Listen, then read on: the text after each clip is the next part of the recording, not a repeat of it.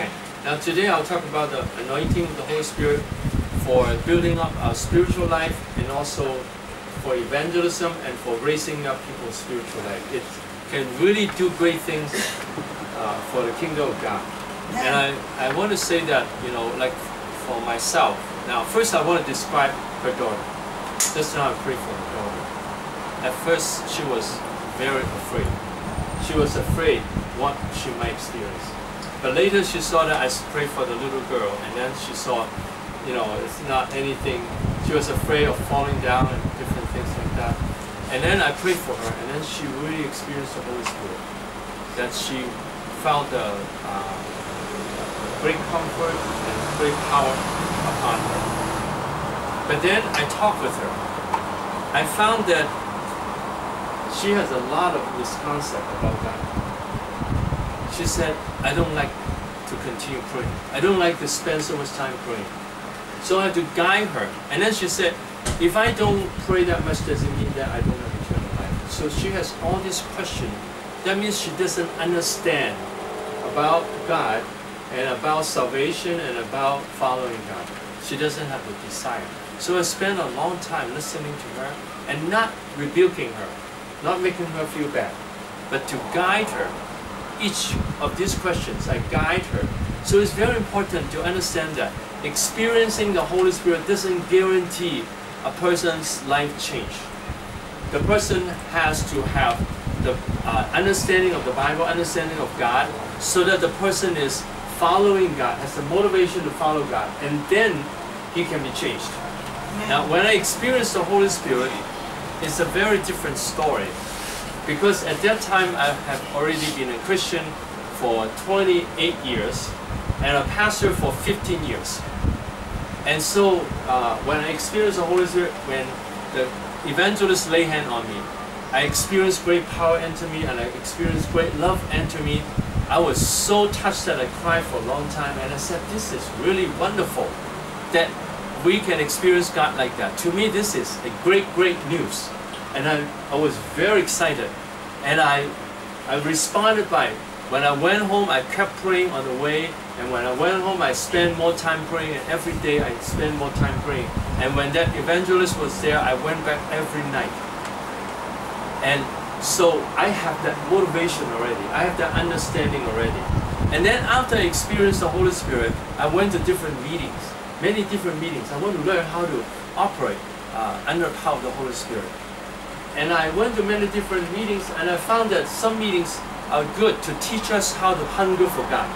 That helps us to be filled with the Holy Spirit. But I also found that many meetings is just about experience. So uh, the preacher would preach about something to excite the people, to encourage the people, but usually they don't talk much about how to keep the relationship with God, how to keep the anointing, how to serve God with the power. I haven't heard that. Uh, I, I did, you know, one of the uh, evangelists did have a material that encouraged people to continue praying more, but most of them did not. And it was from myself because I have the strong motivation. Because I've been doing evangelism for all this time and I find it's hard and also to raise up people's spiritual life and it was hard. And I know that because from the scripture I know that the Holy Spirit will come upon you and you receive power to be my witness from Jerusalem to the end of the world. So I know that the Holy Spirit is for witnessing and to build up people's spiritual life. That's the two parts are the part of a Great Commission.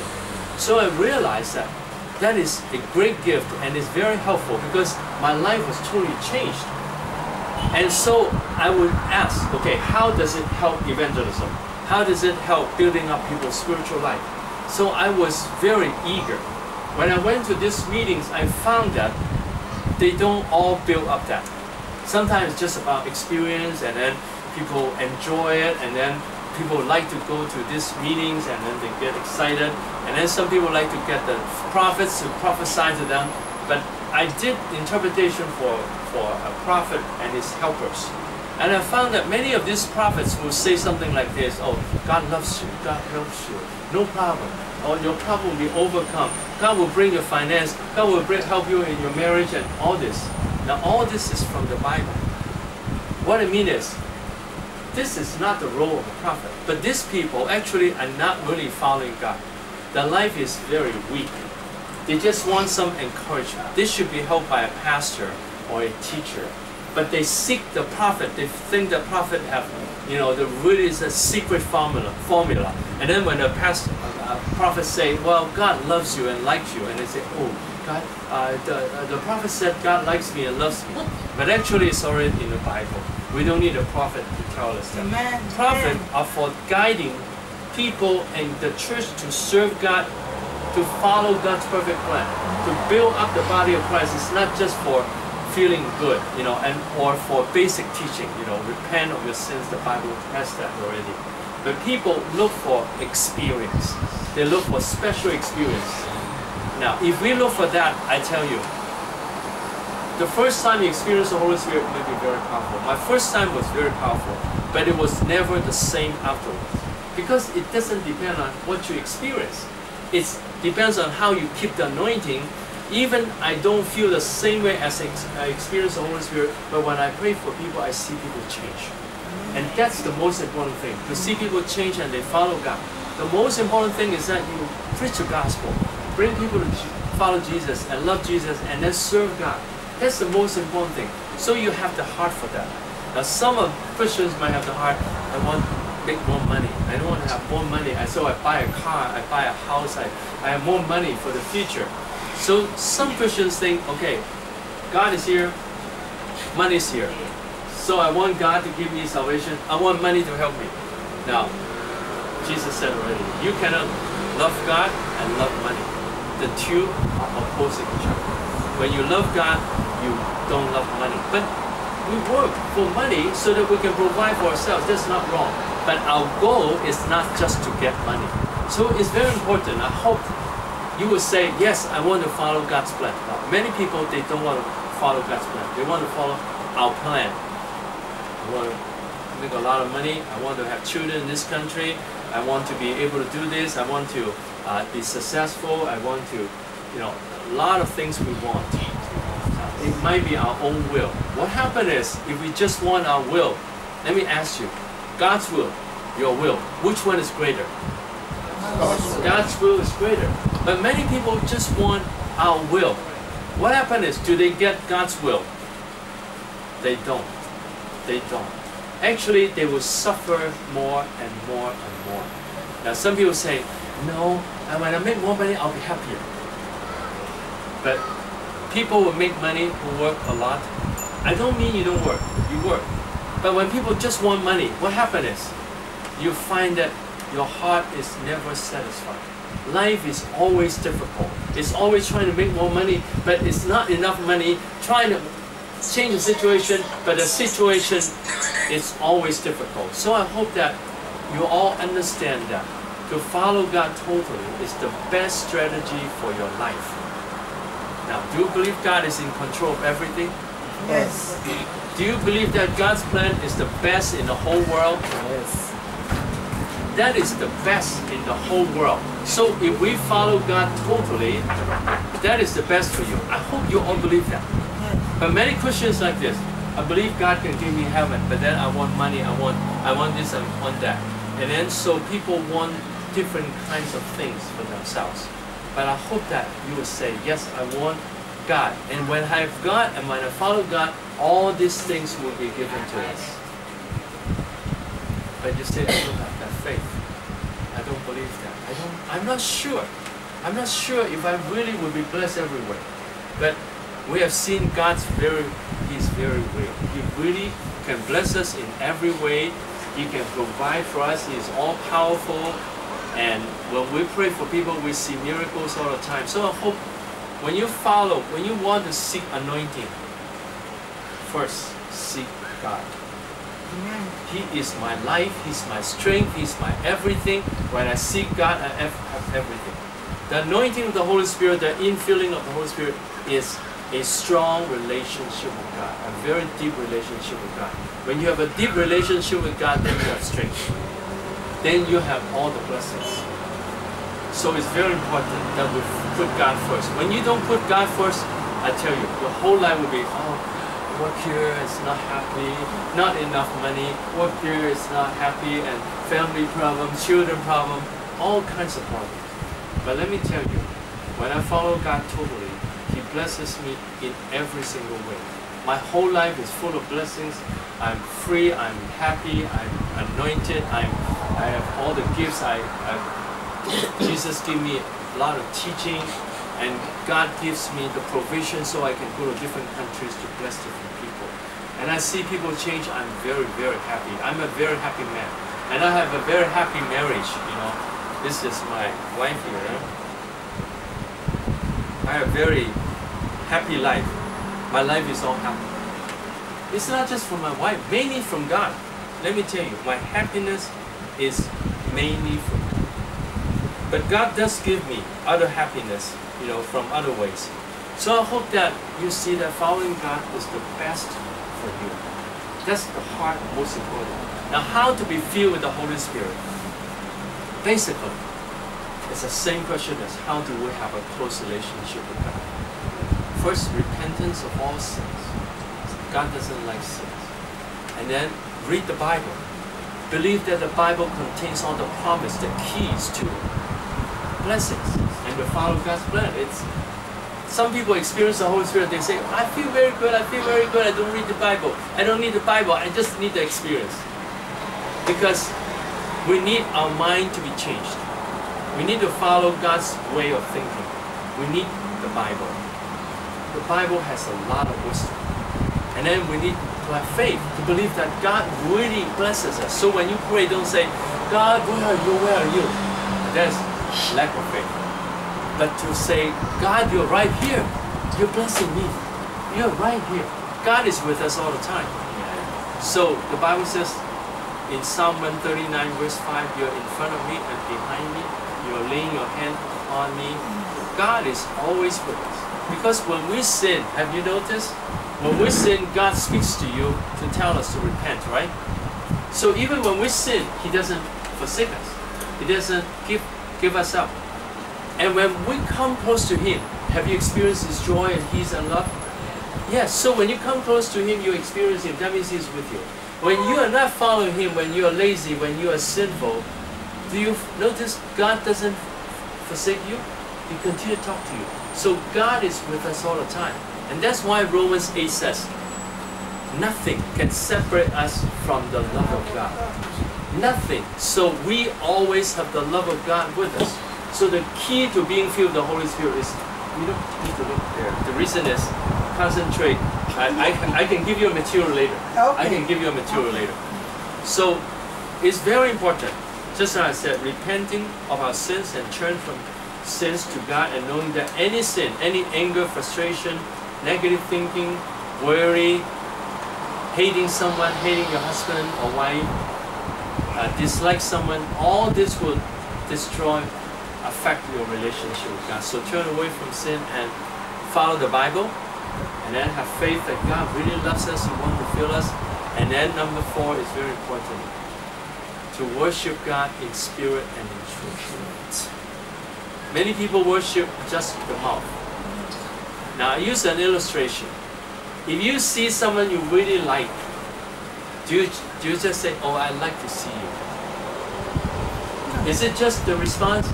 When you see someone you like, it's like your heart really, wow, the happiness blow out, right? Yes. Wow, woo, it's you, it's you. That's un- unbelievable. It's you here. You'll be very happy. That your joy will come out, right? Now, that is close to worshiping God in spirit. That when you think of God, oh, it's you, God, you're so good. Oh, wonderful, wonderful. That is close to worshiping in spirit and truth. But most people don't. When they say, oh, thank God, thank God, they just say it. In the heart, are they saying, wow, God, you're so good. I'm so happy. Are they saying that? Or is it, thank God for my health. Thank God for my children. Thank God for all this. Thank God.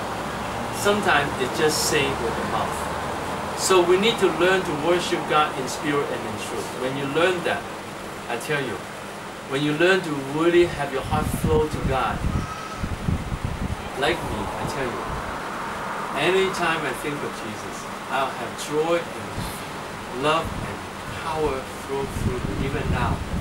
And sometimes you see my responses, sometimes you see my joy. When I think of Jesus, the joy will just keep going. When I think of Jesus, His love and His power will go through me. It takes time to learn that. It takes time to learn to to really love God from your heart. Now, how do you do that? I break it down: the spirit and the soul. And the soul includes the mind, the will, and the feelings. Can you say it with me? The mind, the will, and the feelings. The mind means I agree with God in everything. My mind agrees with God that He is the best. He is the only source of blessings. All blessings come from Him. Following God is the best way to live, and following God is the only way to live. And not following God will always bring bad consequence, destruction, uh, bad cons- uh, you know that will reap uh, destruction.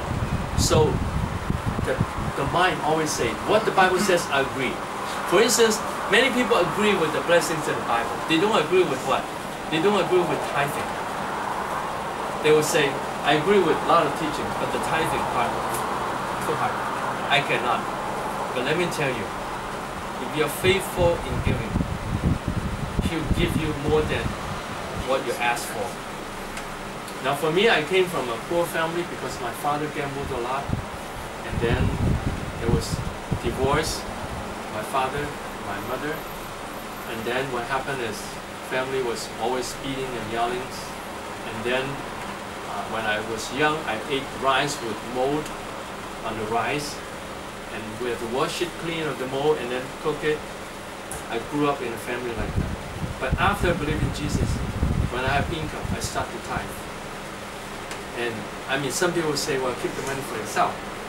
But I tithe, and God, and also I follow God in every way. I love God. I tell people about Jesus. And what happened is God opened the way for me to study, to have, you know, now I have one bachelor degree in Bible and two master degree in theology. And God gives me all the opportunity to study, and I really work hard. And give, God gives me all kind of talents. It's a gift from God. It's not me. I'm telling you, it's not me. But if you really follow God, He will bless you beyond your imagination. So I hope you believe that. Totally believe God is the best. And then your will. Yes, Lord, my life is for you. If your life is for God, God knows it. You know, I go to different countries. Why? Not because I have nothing else to do, but because I know that people in different countries need Jesus, Yes. need revival. So I will go to places and try to find ways to open the way. And how I meet you guys is a miracle. I tell you, it's a miracle. I don't want to spend time talking about it, but that day when I arrived at the church again, and I heard you praising God inside, it was God moving. I was Amen. looking for the church across the street, and then I heard you praising God there, and I went inside. Amen. It's God's planning, and God opens the way for all of us. So I hope that you will always say, God is so wonderful. Actually, you're wonderful. Come on. It's okay. Okay, so the mind, the will, and the feelings. Now, if someone is nice to you, do you have good feelings with that person? Yes. Do you like to be with that person? Yes. Now, we have good feelings toward a lot of things. You have good, good feeling toward your cell phone, right? I mean, because it serves our purposes, so you like it. But do you like God more than you like your cell phone, or like your children, or like the people you like? So have good feelings toward God because He gave us food, He gave us health, gave us beautiful nature, give us the move of the Holy Spirit, give us heaven. When you go to heaven, you'll it's so wonderful. So I hope you all have good feelings toward God. Actually, if you can learn to like God all the time, that's already a kind of prayer. So when you're walking, oh, God is good. Oh, I like God. When you can like God all the time, it's already, you know, really appreciating God to the degree that you like Him. If you can do that, it's like just now I said, when you see someone you like, you suddenly become very excited. That is already a high level of really happy with God. And then the spirit. The spirit is like what? that your whole spirit ascend to God. Your whole being. In Psalm 103, verse 1, it says that all that is in me will praise his holy name. So when you praise God, when you love God, it's from your inside. It's like, as I said, when you, the more you think about the goodness of God, let me tell you, when I have time, I always think about the goodness of God. When I look at your eyes, I see the goodness of God. Why? Why? Because I see that you want to have infilling of the Holy Spirit. When Annette sent messages to me twice, I see that she has a heart for Jesus. And she said, make sure you come to pray for me. And in my original plan, I would not be able to come back. I'm shortening my day there one day. But God, you know, it's God calling me here. And God knows your heart. So I hope that you will always say, Oh, God is so good. I like God. If you are like that, then you can worship in spirit and truth. Every day you stand there, you just say, Oh, God is so beautiful. Oh, the food is so nice. It's all from your love. Oh, my body is so wonderful. Wonderful. Thank you. The provision is so good. I like you. Can, can you like God? Now, some people say, I don't like God because I have so much difficulties. Let me tell you, the difficulties doesn't come from God. It comes from the world, comes from our sin. God will deliver you from the difficulties. God will give you more and more joy, more and more strength. So don't blame God for your difficulties. The difficulties came from the world, came from sin. So the key to being filled with the Holy Spirit is really love God with all your heart. And then, uh, just now I talked about repentance, turn away from sin. Second, Bible, faith, worship in spirit and truth, and hunger for God. And then number five, follow the Great Commission. The Holy Spirit is not just for enjoying, oh, I like the feeling of the Holy Spirit. It's not just for that. It's for evangelism and changing people's life, raising people up to serve God. And then number six, to take care of all problems in your life. If you at home every day you get angry, get frustrated in your work, in your relationship to other people, you need to take care of that. But you say, how can I change my husband or my wife? He or she is not nice. How can you change? Sometimes you cannot change them. You can only love them. Maybe they don't change. Now, let me ask you Is there a guarantee that all your family members will all become good? No guarantee. So, even when they're not good, that would say, Now, if I have anything wrong, I'll ask him to forgive me. But if I, it's not my fault, if, if it is his fault, should I get angry for that? Should I be angry for someone else's fault? No. If someone, have you known people who are misbehaving all the time? Have you met people like that? Yeah. Get angry, say negative words, yelling at people, hurting people. Now these people are always like that. Now they always the black sheep, not good. Should we be always unhappy because I have someone like that around me? Should we be unhappy? No. Now it's natural to be unhappy, but what we need to do is to turn off all the negative influences. We say, no matter how bad it is, it's his fault. Do we have to take people's problems? We don't have to. So we learn to say no.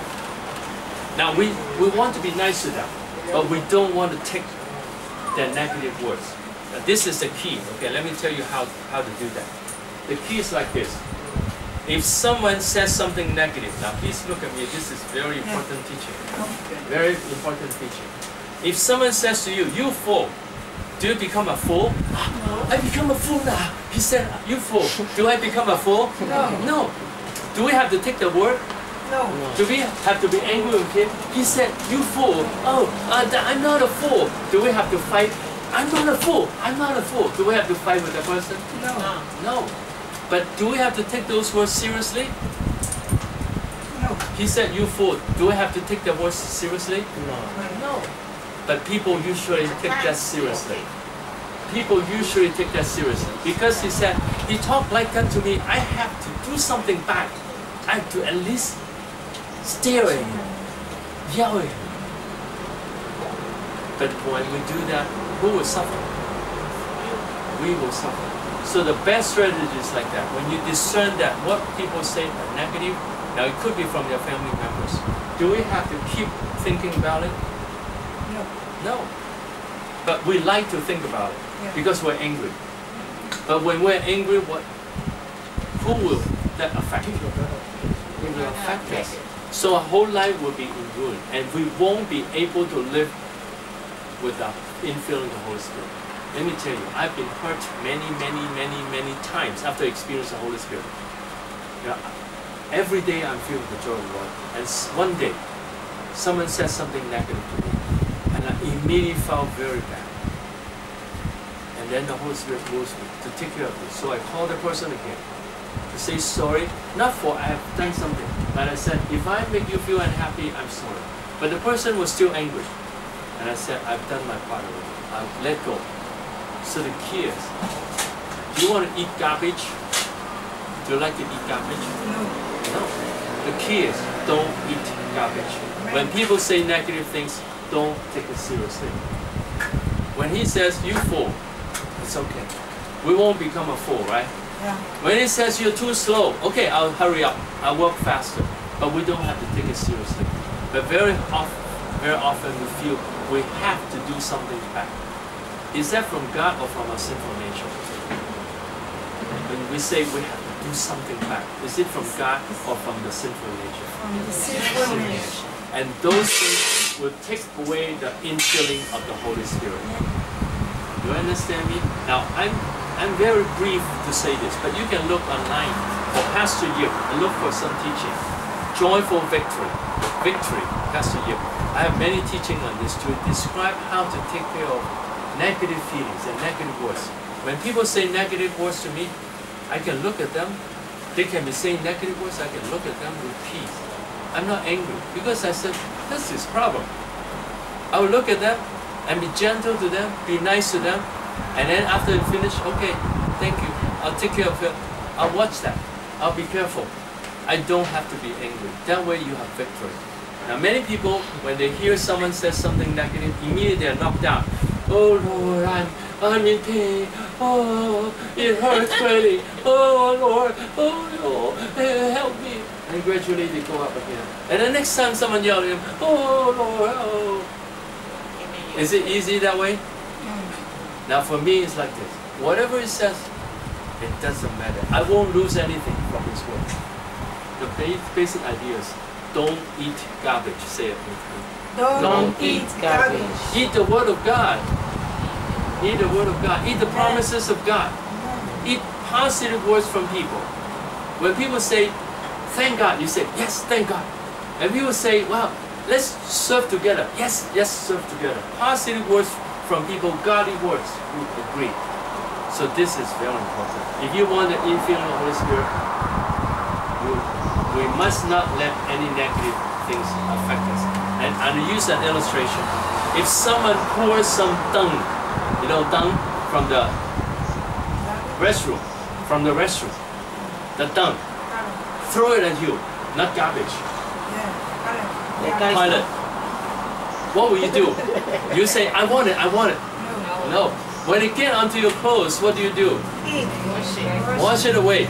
But someone get it and then you go home and say, that stinks. That man is terrible. That man is terrible. And don't wash himself. And the next day, that person is terrible. You'll say, you're crazy. Why, why do you keep Smelling. smelling it and keep cursing? But let me tell you, that's what most people do.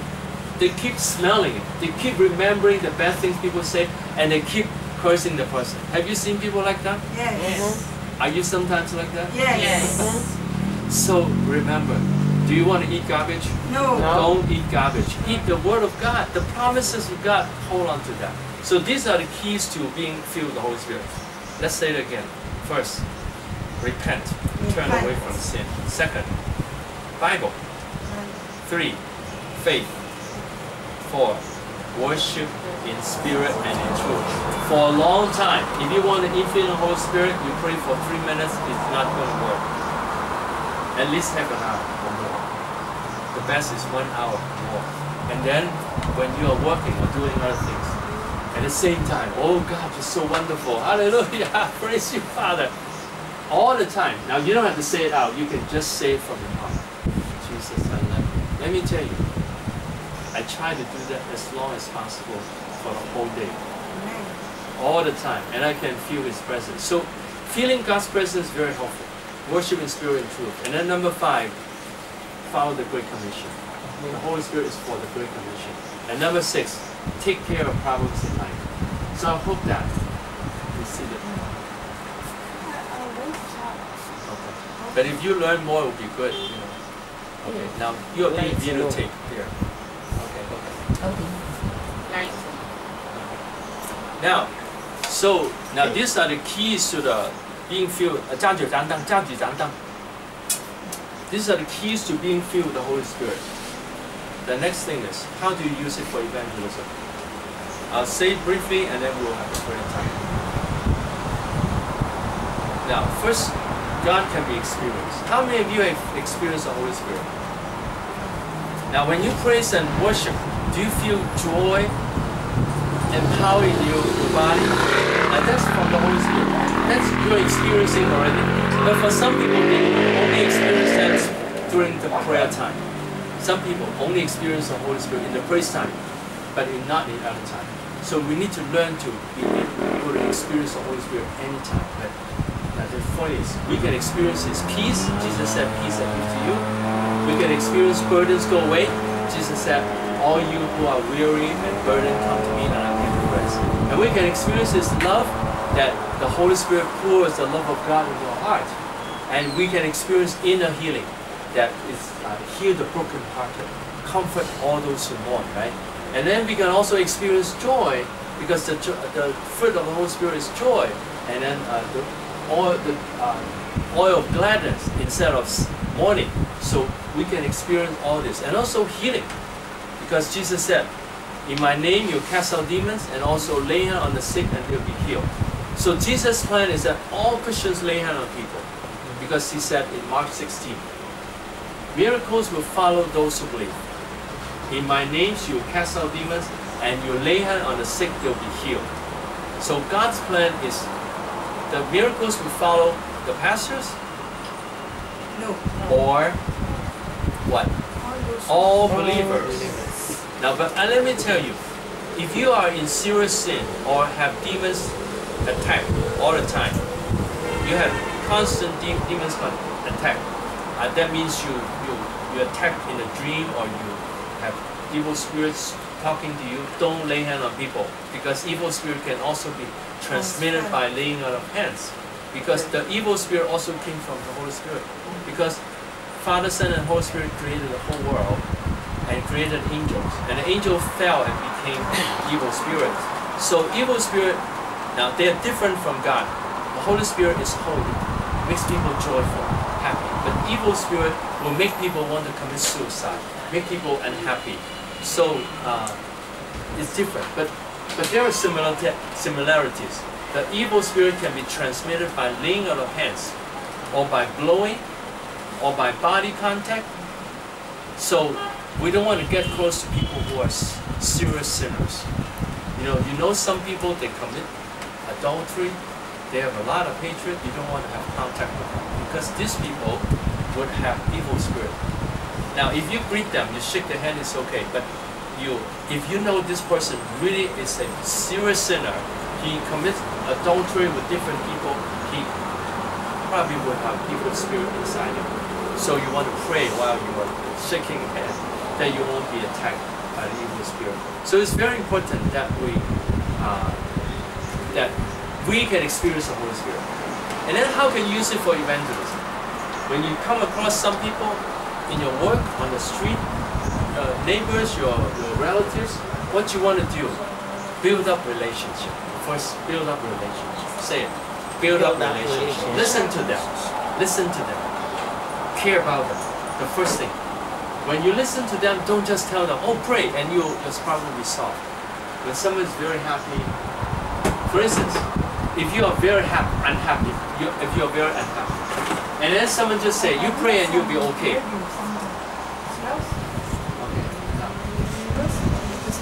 now, Now listen, listen. Now if someone is, if you are very unhappy, and then you tell someone, and a person just say, pray and you will be happy again. Do you always feel encouraged? No, I feel angry.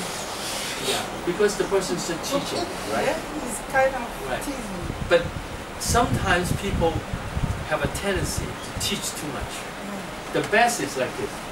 Oh, it must be very painful when your family have fights, when your children don't obey you. I know it's not easy. Now, if someone talks like that to you, how do you feel?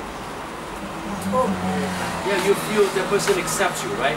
So learn to say that. But it doesn't mean I agree with you to yell at your husband. But at least I know you're suffering. I know it's not easy, right? So we can say that to the person. I know it's not easy.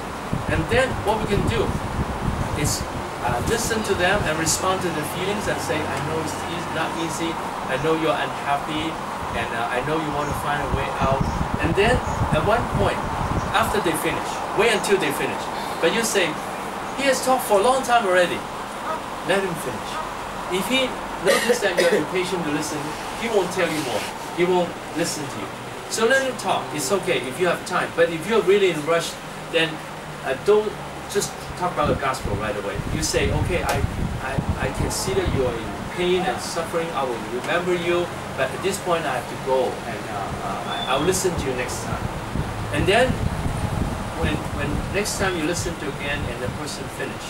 Now, if the person keep going the same story over and over again, then you can say, well, I know your story, I know it's very difficult, and I'd like to share something with you. Is that okay? And the person says, I, I want to keep talking about it. But we can guide them to say, we can guide them to say, well, keep talking about it, does it solve your problem? Do you want to find a way out? And then, and then we can say, we have experienced something similar, or someone has experienced something similar. And then we pray, and then the burdens go away. And then you ask, are you willing? Is it okay that I pray for you? So that's something we can do to invite people to pray for them. So first you need to learn the anointing and take care of problems and practice that. So you can lead the, the members to have a time of being filled with the Holy Spirit, to lay hand uh, and, then to check out if they take care of the problems, to counsel them, and then if they, uh, now, you don't have to be perfect, but if you have sinned, you ask God to forgive, and you really try to handle the problem, and then we'll be okay because there's no one that's perfect. But if every day he yell and the next day ask forgive and then the next day yell again, then he should not uh, lay hand on people again. So what I mean is when you try your best and then you still have some sin and then you pray for forgiveness and then generally you are living in the presence of God, then it's okay for you to pray for other people. But the leaders can test out the people whether they are suitable, and then also counsel them to see if they are handling the problems well. And then, when you lay hand on people, pay attention. Now, first, I will pray for you in a moment. You could experience the presence of God. Now, each person experience God in a different speed. Some people experience it in a very fast way. Some people, I, the moment I touch you, immediately you can experience the Holy Spirit. Some people, it takes a while, but it doesn't matter. It doesn't matter. Because if you hunger for God, He will come to you. And actually, even if you don't feel anything, doesn't mean you haven't experienced God. So you keep praying every day. Spend more time. Really love God. And then your anointing will become stronger and stronger. Mm-hmm. And so what I do when I, as I said again, this method of evangelism is like this. I listen to people, respond to their feelings, care about them, and don't just teach. Just listen longer and, and comfort them. Comfort them by saying, oh, I know it's difficult, I know it's painful, and I can feel your pain, and I, and I, I know in a situation it's not easy. That way you already make friends. And then you can share what you have experienced similarly or someone experienced sim- similarly and experience the help of God. And then are you willing that I pray for you? If the person says yes, and then you ask him to stand up. Standing up is easier to experience God. And then the person can feel the presence of God. Now how do people feel the presence of God? Peace, the burdens go away, comfort to the body, because in uh, Psalm 16 verses 8 to 9, it says that my body will rest secure in the presence of God. My heart rejoices. Also, my body will rest secure. So, God's presence will bring comfort.